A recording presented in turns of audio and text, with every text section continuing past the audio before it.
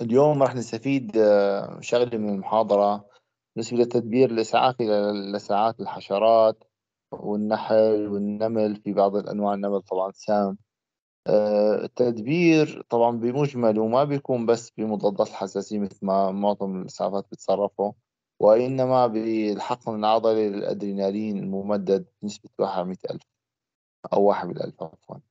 فهاي النسبة أو هذا الإبنفرين أو الأدرينالين بيساعد على تقبض الأوعية لأنه معظم الصدمات التحسسية بصير فيها توسع أوعية يا جماعة.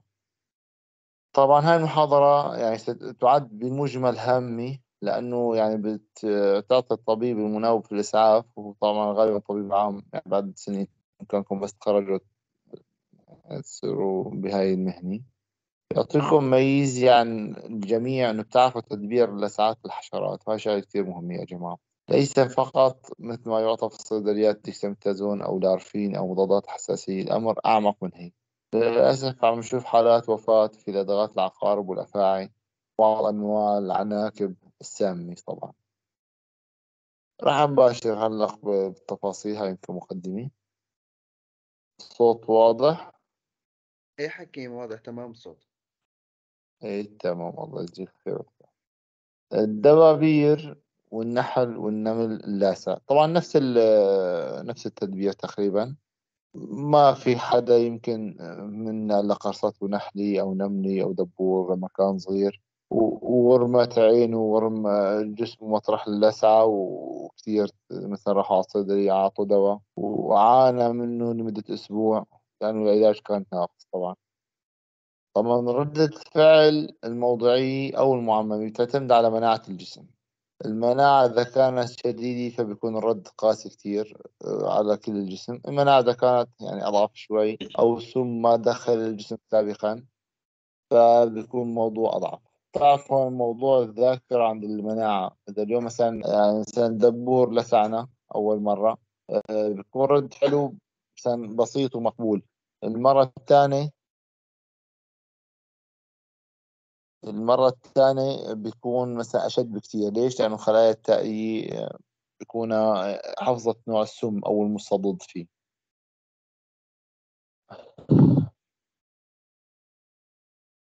طبعا سم النمل أو سم النحل يتفاعل مع الجسم. طبعا هو عبارة عن مستضدات بتعامل معه الجسم على إنه جسم غريب دخل بتعامل معه الجسم أو المناعة. على إنه جسم غريب فات على الجسم فبصير عنده رد فعل مناعي. طبعا غالبا بيكون مناعة من النوع الخلطي. اتفقنا المناعة الخلوية بتكون للفيروسات والمناعة الخلطية بتكون للذيفانات أو المستضدات بعده. المظاهر السريرية الأعراض الموضعية بتكون أعراض نحن نسميها أعراض لسعة اللي هي من هاي حمى وحمامة حمامة. عفوا وألم موضعي وزمي حكي طبعا سببا آه، إفراز الهستامين. يوسع الأوعية الدموية فبتصير المكان قاسي وزمي. الحمامة لون أحمر بسبب توسع الأوعية والألم طبعا مكان اللسعة آه، الألم يعني لدى بعض الأطباء كان عندهم فكرة إنه أخي نحن مثلا خاصة لسه العقارب آه، إنه يحقون ليدوكاين حتى يخف الألم. وهي طبعا طريقة صحيحة يعني. لأن الألم بيجي بتنبيه نهايات الألم ما له علاقة بالحساسية والهستامين وكذا آه، قد تزيد تفاعلات المحلية شديدة من احتمالية حدوث تفاعلات جهازية خطيرة طبعا. إذا كان آه، فرز السم غالبا بيكون حول الوعاء. أما إذا مثلا في أحيان نادرة تكون لسعة مثلا فاتت شوكة الحشرة داخل دموي وفرزت سم هون كارثة حقيقية بيكون الموضوع أسرع. يعني كأنه حقنه داخل الوريد. مثل ما قلنا آه، إذا تعرض المريض مرة أخرى فالأمور بتكون أخطر. تمام؟ هذا موضوع مهم يعني. آه، رد فعل الموضع على لسعة النمل الناري. آه، يتطور بثرة عقيمة تطور خلال ال 24 ساعة الأولى. ويؤدي في بعض الأحيان إلى نخر وتندب. طبعا بالنسبة له بننتظر هون هاي المرحلة حتى وين نشوف الشفاء. بعدين نعمل له جراحة تجميلية لهاي النخرة والتندب. ما بصير نتدخل جراحيا على أمر حتى ينتهي. يعني سواء تليف أو تندب أو تخف تشمل التفاعلات الجهازية الشرى طبعا هذا علامة مميزة للتحسس والوذمة الوعائية وانخفاض في ضغط الدم. طبعا كله بسبب إفراز الهستامين والتشنج القصبي ويصاب المرضى من التسمم يعني بكميات ضخمة بالإقياء الشديد والإسهال وانحلال عضلي قد يصل إلى عضلة القلب طبعا هو السموم يعني السموم الحقيقة سيئة وتأثر على كل الجسم آه، ردود الفعل المتأخرة من. من خمسة إلى أربعة عشر يوم بعد بعد التسمم بالسم بشكل غير منتظم وتشبه داء المصل. يتميز هذا المرض طبعا معروف هذا داء المصل إنه حمى وشعور بضيق وصداع وشرع تضخم في العقد اللمفية والتهاب المفاصل. إيش بنحسن نقدم لهيك مرضى؟ في آه، قسم الإسعاف والطوارئ. تفضل اللي بعده.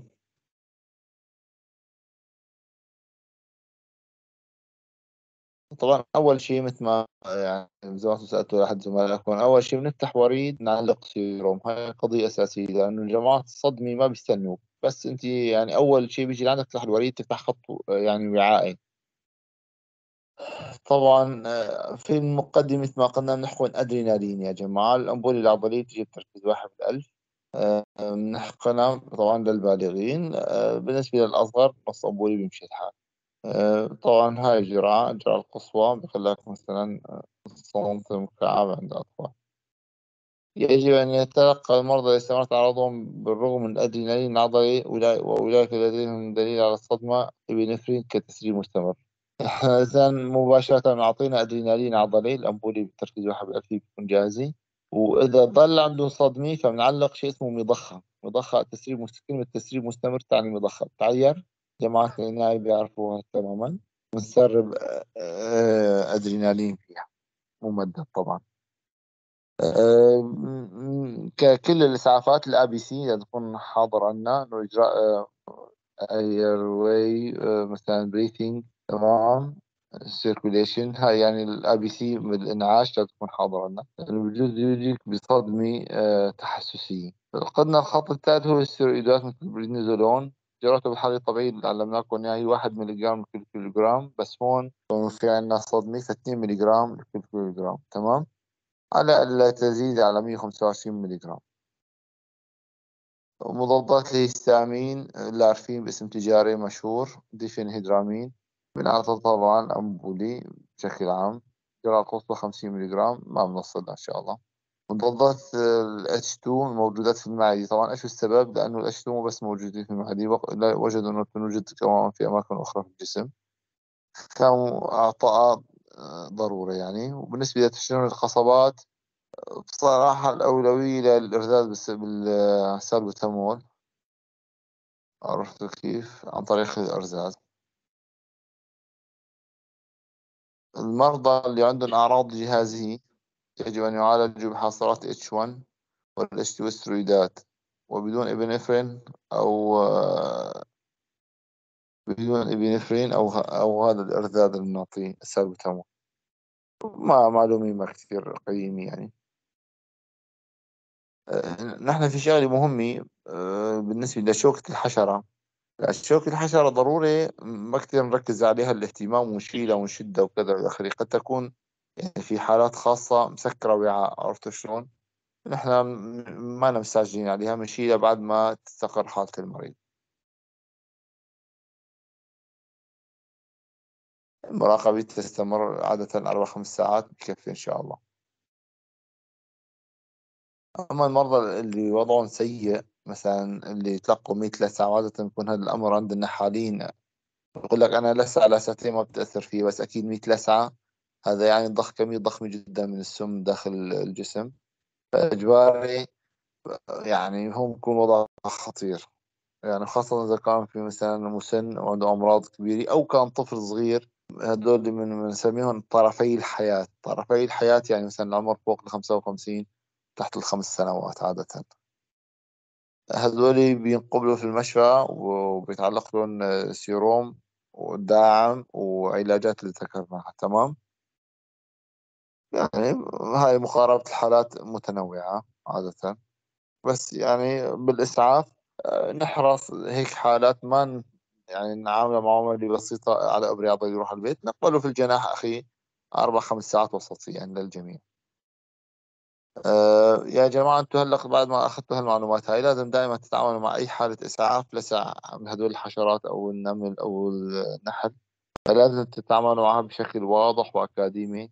وقياس الضغط ما يفوتكم ال monitor آه، دقات القلب آه، الأمور الموضعية الألم الموضعي الموضوع الجهازي وحدة الدوران فتح وريد الإبنفرين العضلي ال- مثلا ال antihistamine أو الإبنفرين الوريدي في الحالات المتقدمة.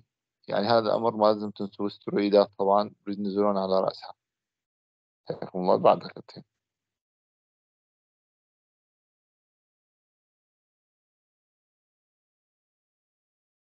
لساعات العناكب طبعا العناكب في يعني كثير من أقسام سامي يعني مجموعات سامية للعناكب. عادة ما بنوجده في بلادنا بس بس في يعني طبعا هذا الموضوع لا ينفي يعني في عندنا في بلادنا عناكب سامي لازم نتعامل معها. آه، أو راح ناخذ نوعين يعني تقريبا العنكبوت البني الناسك ال- اللدغة غير مؤلمة هاي شغلة مهمين لازم نعرفها. تطور الآفة حمامية صلبة تلتئم على مدى عدة أيام إلى أسابيع. ترك ندبي طبعا. في بعض الأحيان قد يحدث رد فعل حاد مع الألم الفوري. تكون نقطة نسيمة بيضاد موضعي. طبعا هذا مش السمية بس صار عندنا بيضاد موضعي بيكون معناتها السم شديد مركز. غالبا تصبح العافية نخرية خلال ثلاثة أيام من الرباعية وتشكل نخرا كبيرا. طبعا مثل ما قلنا ما نتدخل بالجراحة عليه حتى يوقف النخر في في النسج بعد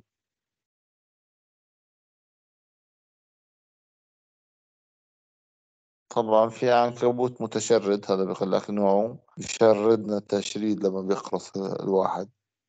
آه يعرف باسم البن الشمالي الغربي. آه علامات وأعراض سرية تشبه بلدة العنكبوت آه ما هو مطلوب أن نعرف نوع العنكبوت يعني؟ لأنه ما حدا بعد ما يتلدغ من العنكبوت ما حدا رح يخلق أشكال نوع ما ما كثير دققونا في في مسألة البداية إيش بنشوف ألم وما ألم. يعني بس مهم يعني كطريقة علاج و... وإيش بيسوي عرفتوا كيف؟ طبعا كونه ما في اختبارات بتحدد نوعية السم مثل ما قلنا في شغلة مهمة يتم تأخير الإصلاح الجراحي للآفات التقرحية الشديدة النخرية حتى تكتمل عملية النخر العنكبوت الأسود أو ما يعرف بالأرملة السوداء. ليش سميت أرملة سوداء؟ مين بيعرف؟ إسماعيل. دكتور أنا بعرف لأنه بتقتل جوزها وأولادها الله يخليها ويحفظها ما بتقتل أولادها بس جوزها معلم. بس؟ آه حنونة بس خطيبتي جوزها بس جوزها بتقتل جوزها بس. يا أخي بيتقاوموا بس على الجوز. إي والله. هاي اسم سميت الأرملة السوداء طبعا. لأنها تقتل زوجها مباشرة بعد التزاوج. آه طبعا هي من اللدغات السامة والسامة جدا للأسف. ينتشر السم بسرعة شديدة. وبصير في عنا الشعور يعني طبعا هو سم حقيقي. فنشعر بوخز الدبوس. بالأطراف.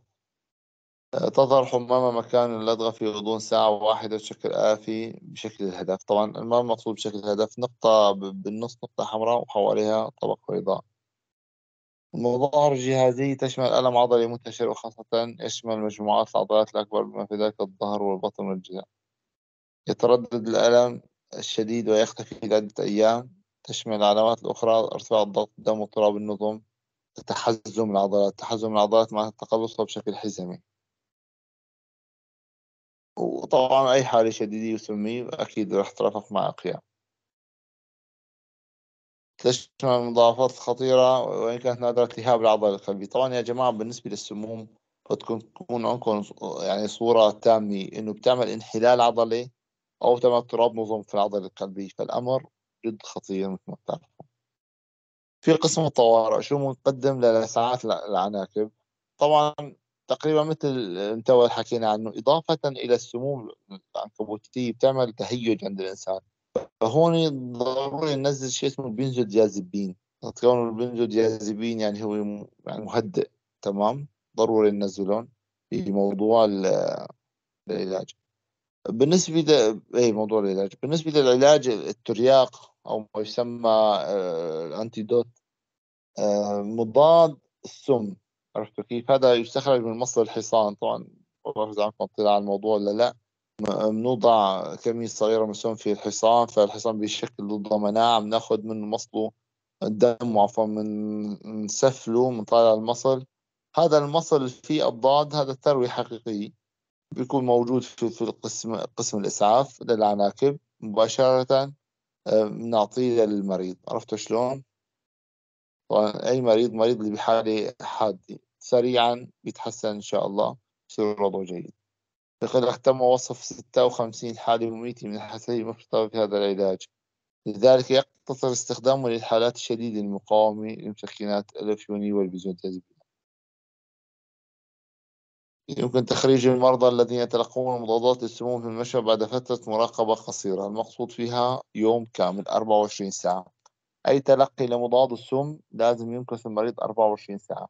طبعا ليش بصير 56 حالة مميتة من الحساسية لأنه مصل الحصان أكيد في عنده أضداد كثيرة كانوا نحن نعطي جسم جديد على على على الإنسان. طيب. هلأ هاي موجود يعني في بلدنا الريتيليا أو الريتيلي. معروفة بالعامية الريتيلي بتوقع الغالبي شافها آه، ما في يمكن ما حدا كلف منها ولكن الغالبي شافها. وهي معظم أصنافها غير سام بس هي عندك أصناف سامي وبشدة للأسف. آه، ريتيلي هاي أو ريتيليا آه، دفاع عن نفسها يكون بإطلاق أشعارها مثل الإبر على على الجسم الغريب ومنه الإنسان. ما كثير بتخترق جلد الإنسان لأنه كثير ضعيف هاي الأشعار فغالبا بتكون يعني بتأذي القرنية إذا كان الإنسان مقرب عيوني منها. يعني بصراحة بتزت أشعار على مسافة بخلق حدود المتر. الإنسان إذا كان مقرب منها فبصيبه قرني بتحسسه بشدة الخطر الكبير هو بإصابة العين يعني غير العين ما كثير بتخترق هاي الأشعار جلد الإنسان. العلاج بسيط طبعا. يعني بسيط إن شاء الله بعدها لضغط العقارب لا ما في شك كلياتنا قرأنا وسمعنا أو لسع أحد أقاربنا بعقرب كون نحن العقارب منتشر عنا لأنه نحن يعني بلد في عنا عقارب بشكل عام. السم آه، بسبب ألم فوري وتنميل طبعا مثل ما قلنا السموم اللي بتنتشر بتعمل نمل أو حس وخز بالأطراف التأثيرات الجهازية نادرة وتحدث بشكل رئيسي عند الأطفال. تشمل المظاهر الجهازية خللا حركيا منتشرا أو ضعفا في الأعصاب القحفية يؤدي تأخير يؤدي هذا التأخير في حركات التعيين المتنقلة والشفع وصعوبة البلع تستمر الأعراض الجهازية 24 إلى 48 ساعة بدون علاج مضاد للسم. كمان سم العقارب لأخذ العلم في مضاد آه، ترياق يعني في ترياق له أنتيدوت. ولكن ما بنستخدمه لكل المرضى يا جماعة. مستحيل يغطي كل المرضى. فبنعطي للحالات الشديدة اللي ببلش عندهم تطور عندهم أعراض عصبية فمباشرة بنعطي الترياق دكتور معظم المرضى يحتاجون مسكنات فموية أو ديازبينات أو حقن الدكاية الموضعين حكينا عنه بموضوع لدغ العقار المرضى الذين يعانون من مظاهر جهازية يعني مقصود فيها عصبية بينتج جاذبيات أو وافيونات وريدية والله الأفضل ينعطهم أنتيدوت هو المفصل يعني.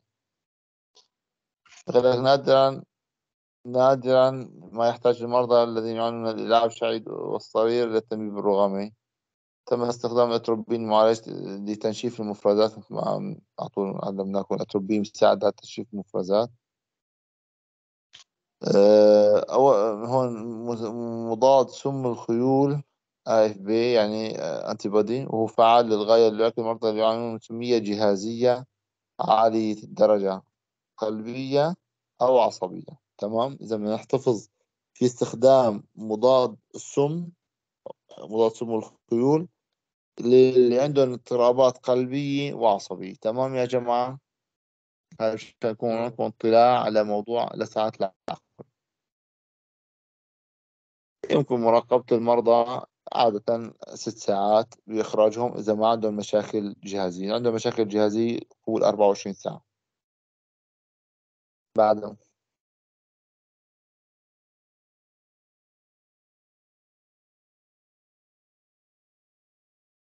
قلبت ما طلع عندك؟ إيه طلع عندي لدغات الأفاعي طبعا كمان نفس تقريبا العقارب منتشرة في بلادنا. لدغات الثعابين في المجمل سامي. راح نتناول نوعين من الثعابين هون. آه، الحقيقة نحن في بلادنا غير هاي الأنواع بس تقريبا نفس الترتيب نفس العلاج إن شاء الله. آه، أفاعي ثم يعرف بالكروتالين تمام؟ أو أو أفاعي بقول لك اسمه الحفرة. طبعا كلياتنا بنعرف إنه السم بيطلع من الأنياب بتغرزهم بالجلد. وبتضخ السم ضمن آه، في النسيج تحت الجلد تقريبا. خمسة وعشرين بالمية من اللدغات تؤدي إلى تسمم. طبعا هاي نسبة عالية كثير وليست نسبة بسيطة. المظاهر السريرية تعتمد تأثيرات تسمم الكورتالين على حجم ونوع الثعبان. أه وطبعا آه، عمر وحجم الضحية المقصود فيها هون نحن نقيس السموم دائما بالنسبة إلى سطح الجلد يكون بالنسبة لنسبته يعني. السمة المميزة لسم الأفعى هي وجود علامة أو أكثر من علامات الأنياب مصحوبة بالألم والوزن. طبعا بيجي الإنسان في واضح مكان عضة. نعم اعتدال العقد اللمفاوية المؤلم هو العرض آه، رئيس. ويعني شائع ويتم هذا غالبا ما يتم ذكر الغثيان والإقياء والطعام المعدني عند المرضى لأن قلنا الغثيان والإقياء دائما بنشوفهم بحالات تسمم. طبعا التسمم مقصود فيها بالسم المحقون مظاهر الجهازية الشديدة بنشوفها عند جماعات أطراف العمر وعند عند الأمراض هو متمثل بانخفاض ضغط الدم. وعدم انتظام ضربات قلب والصدمة الصدمة التأقية يعني التحسسية مقصود فيها. آه، طبعا بنخاف آه، بموضوع السموم يا جماعة. شغل بتعمل شغلة اسمها ال DIC مين بيجاوبنا شو ال DIC؟ دكتور آه، هي عبارة بصير تخصص يا تمام. ما في مجال غيري آسف.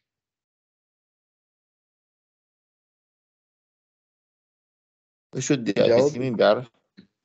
دكتور هو إيه. تخثر منتشر بالأوعية الدموية بصير آه، تخثر تقريبا بمعظم الأوعية في الجسم لحد ما تستهلك عناصر التخثر كلها بعدين ممكن توصل عنا لحالة بصير بعدين بالآخر نزف شديد بصير بينزف المريض من كل مكان. تمام. إيش قد نسبة الوفاة لما بصير عندنا DIC؟ والله ما بعرف صراحة ما بذكر. تمام. هلا ال DIC هو مرض 50% مميت. إذا نسبة عالية جدا جدا تمام؟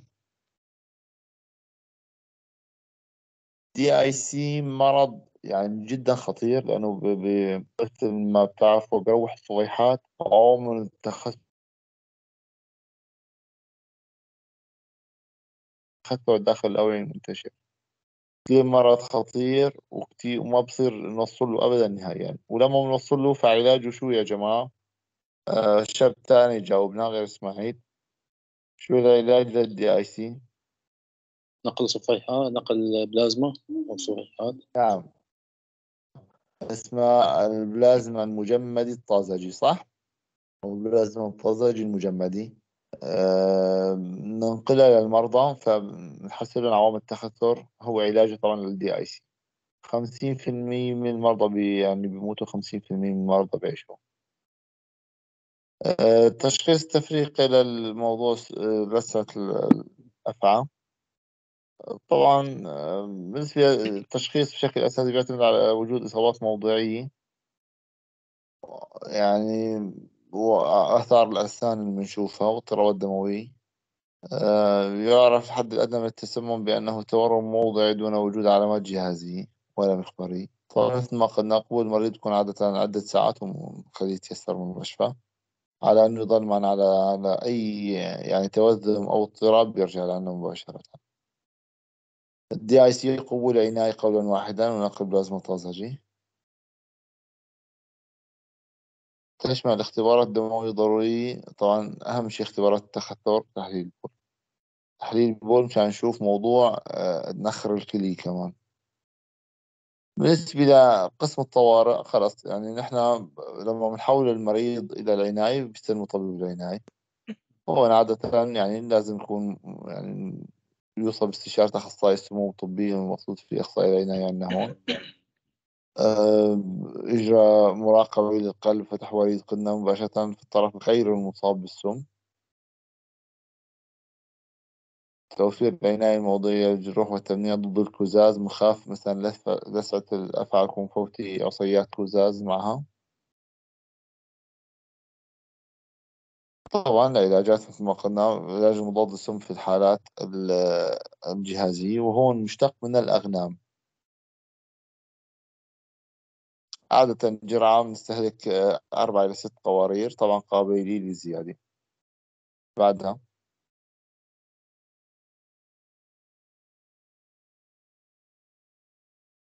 الشغلة المهمة قلنا بلسعات الأفعى هي التخثر أهم شيء بنضل بنحلل موضوع الصفيحات موضوع البيتي زي ما البروثرومبين لك يشمل علاج الصياني إعطاء جرعة إضافية بمقدار اثنين قنينة أو أمبولي آه، بعد ست واثناش وثمنتاشر ساعة. بعده.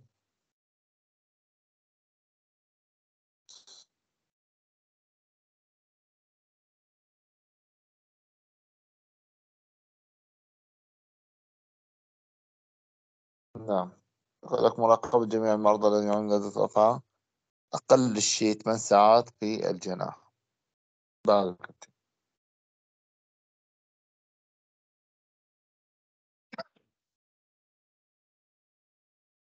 طيب موضوع إدخال المرضى الشديد قلنا مباشرة إلى العناية وحدة العناية المركزي آه، دائما بس طبعا دخلنا العناية فصار إجباري بنعطيهم هذا الترياق.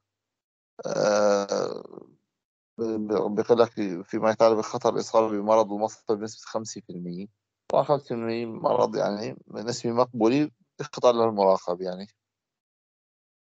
العلاج المعياري داء المصل هو بريدنيزولون طبعا هو داء تحسسي. واحد ملي جرام في كيلو جرام يتناقص على مدى أسبوع إلى أسبوعين عشان يعني المصدات تروح من الجسم. النوع الثاني من الثعابين هي ثعابين مرجانية ما في داعي. هذه اطلاع كفين ما في داعي ناخذها. هذا. تمام الحربي. الحربة طبعا الحربة موجودة في بلادنا ونشوفها آه، لدغاتها بتؤدي إلى ألم وتورم سمي جهاز ما حكينا دائما. السيمتوم بس صار بالجسم نحط فيه تنميل ضعف آه، عادة بيكون في عندنا ارتفاع في ضغط الدم معي آه، لذلك مثل الحرب أو غيرها يعني أفضل ما تكون حوالينا تقتل يعني حوالينا الشيء المهم بالنسبة للحرباء أو لساعتها يعني الزاحف دائما بيتمسك بأسنانه. فأفضل طريقة إنه نشيل تمه من عضه يعني نحطه على سطح. إذا عضتنا الحربة مثلا ما نمسك بقى نباشر نشدها طالما قطعة لحم من عنا لا. ننزل هيك على الأرض هي بس حست إجريها ثابتات على الأرض مثل مثل أي الزواحف فبتترك من تمه وبتمشي أكيد. يعني الزواحف عندها غريزة وهي معلقة في الهواء فبتعلق بفكة ما عندها مشكلة. يعني. بمجرد إزالي يعني عناية في الجروح عناية عادية وأهم شيء ما بتخيطه. جرح قد يكون جرح كبير الجروح دائما جروح اللسعات لا تخاط أبدا نهائيا. مراقبة بشكل أساسي ست ساعات على الأقل بعد إزالة الحيوان. نادرا ما أشوف صدمات تحسسية من من الحرباء آه، في مصطلح راح نتعرف عليه هلأ. هو مصطلح اسمه ما قبل الغرق. معظمنا يعني شاف هيك حالات سواء بأفلام أو بحالات طبيعية إنه واحد نزل على البحر ما بقى أو على نهر أو على مسبح ما حسن يسبح بيقول لك والله. حسيت حالي بدي أغرق فما هو الشعور بما قبل الغرق؟ الغرق هو وجود غمر هو الغمر في سائل يؤدي إلى ضائقة أو فشل تنفسي. هذا الغرق. ما قبل الغرق طبعا سحب كميات قليلة من الماء إلى الداخل. عرفت شلون؟ هذا يعني قبل الغرق. عادة آه، إصابات الغمر على درجة يعتمد يعني درجاته على درجة إصابة الجهاز العصبي المركزي والرئوي. وطبعا هون آه، يعني أفضل مكان لتطبيق شيء اسمه الإنعاش أو الإنقاذ. الإنعاش أ بي سي وهون يعني هون طبعا صارت عدة مدارس إنه بنعطي نفس بين عشر إنعاشات وعشر ضغطات على القلب وقلق بين سبعة يعني في مدارس كبيرة أكيد أنتم تطلعوا عليها. 20% من المرضى الذين يعانون من إصابات الغمر لا يستنشقون الماء ولكنهم يتعرضون للإصابة بسبب الاختناق. يعني قصده إنه بيحبسوا غازات بارتفاع CO2 بالدم فبالتالي إنه ما كثير بفوت مي لجواتهم بس إنه أكثر أذاهم من حبس CO2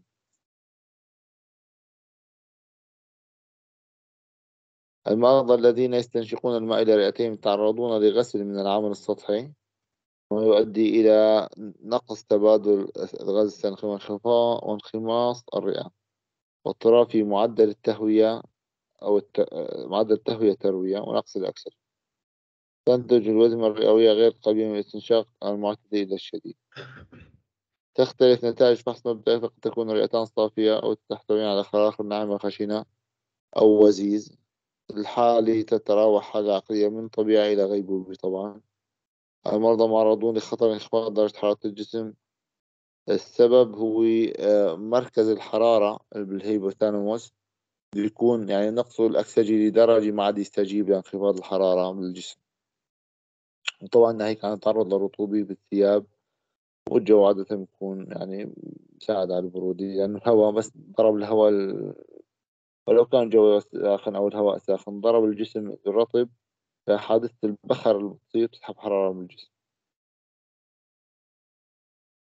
طبعا ما في داعي تشخيص تفريقي خلاص أكيد الناس جايبينه من المسبح. فأكيد يعني مسكين غرقان.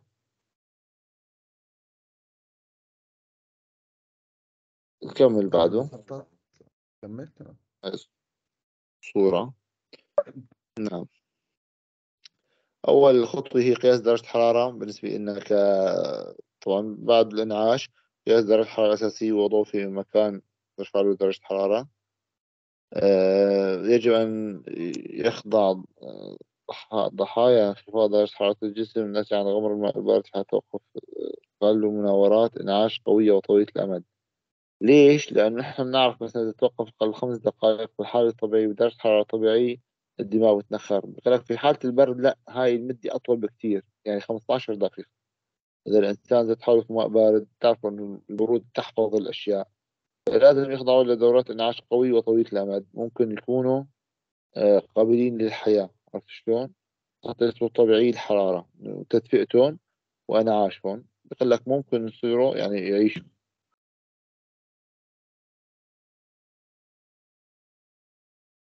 بقول لك إنه لازم ما نستعمل صدات حيوية من أجل الرئوي يا أخي عم نستخدمها لاقل من هيك بقى أقل منها صدات حيوية ما في مشكلة يعني. بالنسبة لانقطاع التروية عن الدماغ مدة منيحة ففي شيء عندنا بصير عندنا وزمة دماغية يستخدم مانيتول أو مدرات تروي آه، من أجل تخفيف وزمة الدماغ أو محلول آه، ملحي مفرط التوتر عشرة يعني. وصار تم تنبيفها من عروض فرط تهوي تمام؟ ويعني هاي علاجات في العناية مطالبين بأساسياتها طبعا بس مو مو بالتفاصيل.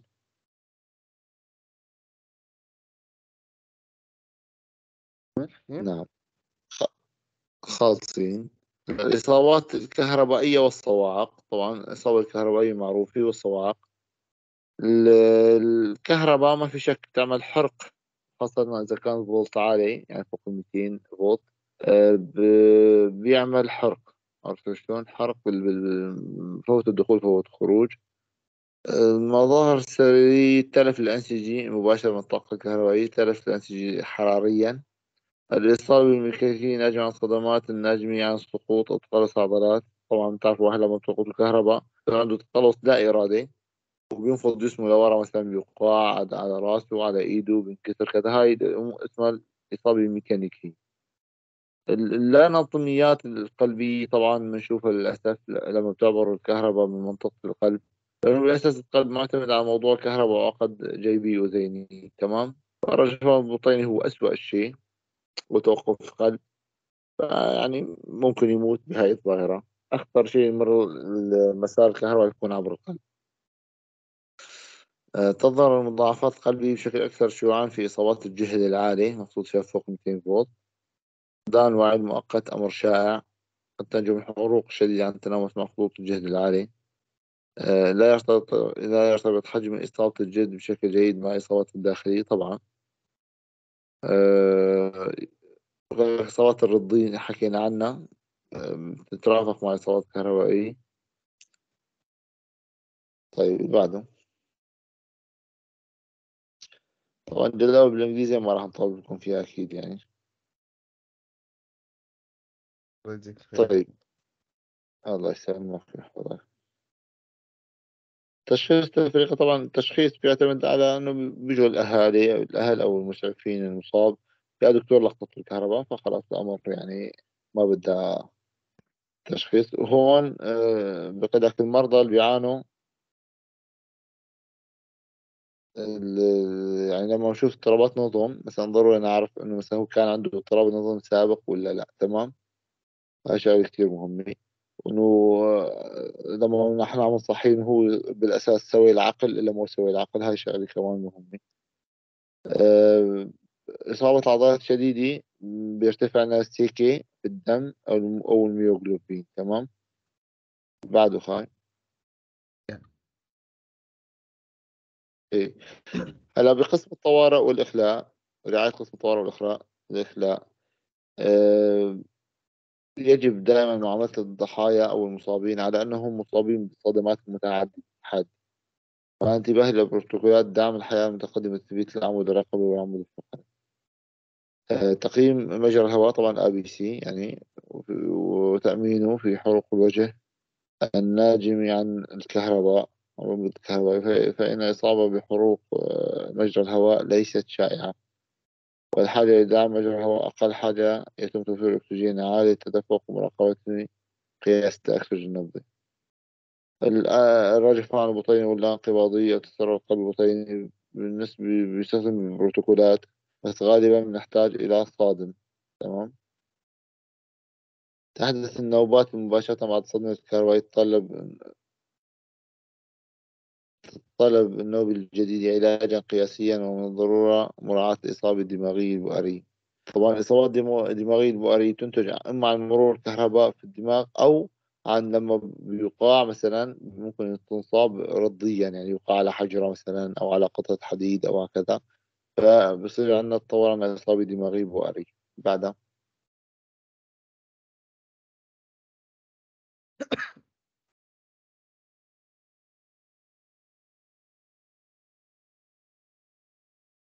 طيب بقي لك من النادر نشوف متلازمة الحجرات طبعا.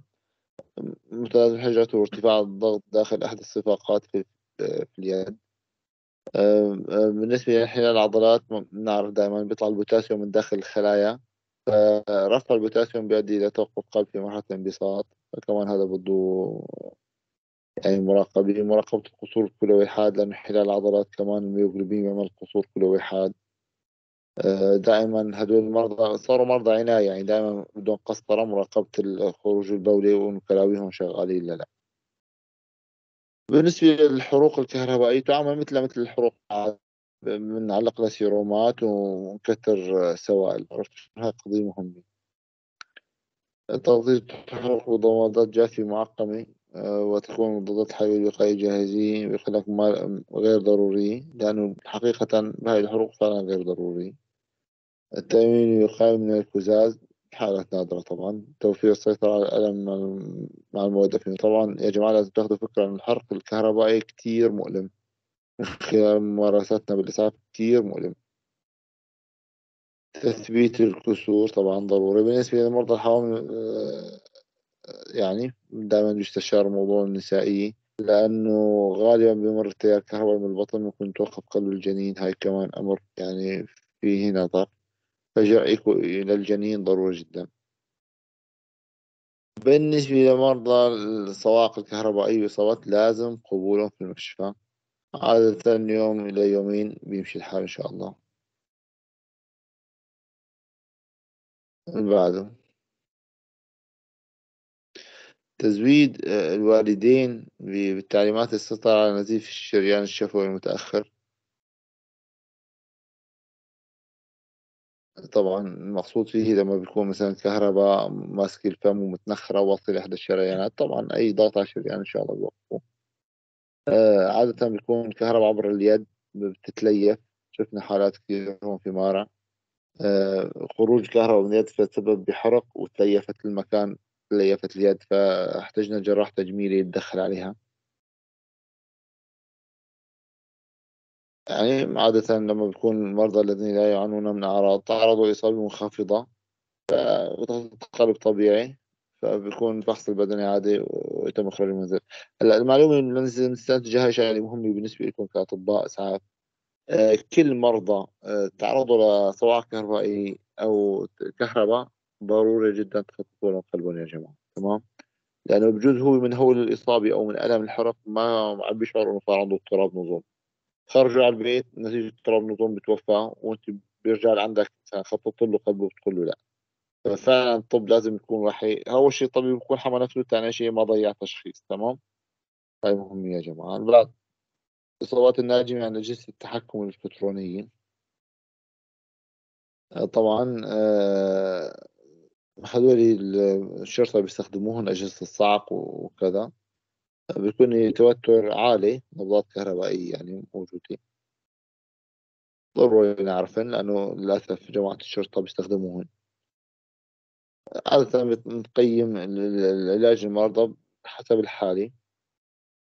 بيكون عندهم هياج معظم المرضى بيكون عندهم هياج لأنه الكهرباء بتكون عالية. عادة بتكون الأمور جيدة والشرطة إذا عنده خبرة فوين بيلدعوا الأطراف وما بيلدعوا المركز يعني إذا ضرب الصدر مش كثير كبيرة عادة هنا ما بيصيبوا غير الأطراف. إصابات البرق والصواعق واردة يعني سمعتوا أكيد كلكم السنين الماضية شلون تنزل البرق يصيب ناس أفراد مثلا يكونوا تحت شجرة على موتور في سيارة أثناء ال يعني أثناء الرعد والبرق. كمل نقلل تحت. يلا احكي لنا. اي نعم. فنحن معروف البرق بالتعريف هو تيار كهربائي طبعا ما في شك بين الغيوم والأرض. إيه لما بيبرم جسم الإنسان عادة والله يعني واحد ما بينفذ إلا نادرا يعني غير الا طويل العمر لأنه هو فولت عالي جدا جدا مش كثير كبير يعني بتغير مباشرة القلب رجفان بطيني وبيموت الإنسان. أحيانا ما بينتقل يعني على الجسم مباشرة حد الجسم فبسبب حروق وأذيات. طبعا مظاهر سريري بيجيبوا المريض إنه أخي تعرض لضربة برق ونشوفه بناخذه يعني نتعامل معه مثل تعامل الحروق الكهربائية عادة بعدها بعدها بعدها.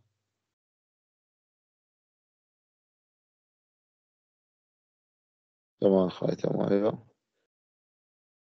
مثل ما قلنا دائما الضحايا أو المصابين بموضوع الكهرباء والبرق هن متعاملون على أنه المصابين بصدمات متعددة. ماشي؟ فدائما آه، ممكن الصاعقة أو البرق تشتفوا فما بنشيله بشكل عشوائي مثبت له عمود الرقبة مثلا طوق رقبة هذول جماعة الدفاع المدني لازم يكونوا متقنين هالأمر هن فعلا متقنين يعني لما بيجوا عند مريض هيك مغمى مباشرة بثبتوا له عمود الرقبة مشان ما يتحرك. بعده.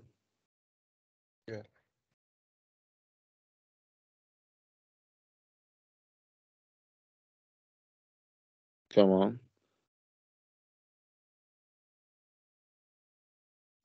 كمان كمان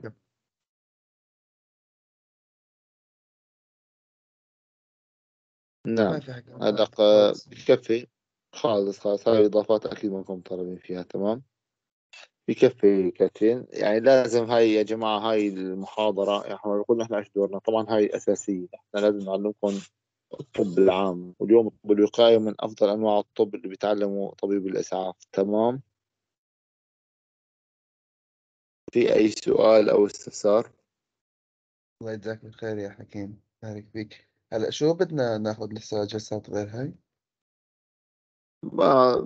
هلا في أول محاضرتين بهذا المقرر. راح نقرر لكم إياهم بدل هذوك المحاضرتين. فما راح أعطيكم إياهن وهيك المقرر بيكون انتهى وهذا المطالبين فقط لا غير. إذا هذوك المحاضرتين الأوليتين هذاك المقرر ما كنتم طالبين فيه.